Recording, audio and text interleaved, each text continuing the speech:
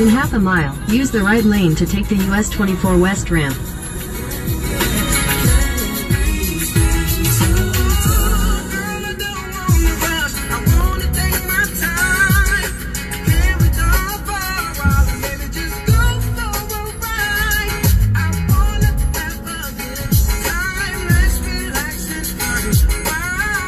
The right lane to take the US 24 West ramp, then keep right at the fork.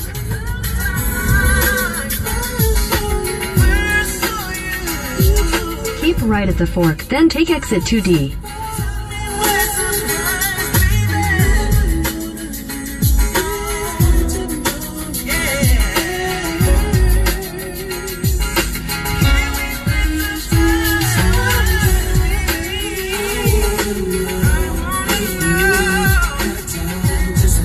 Exit 2E, then merge onto West Independence Avenue.